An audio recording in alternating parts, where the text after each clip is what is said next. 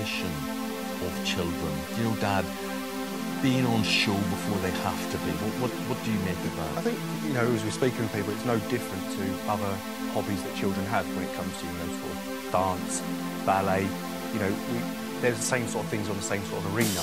Except, my friend, the hobby.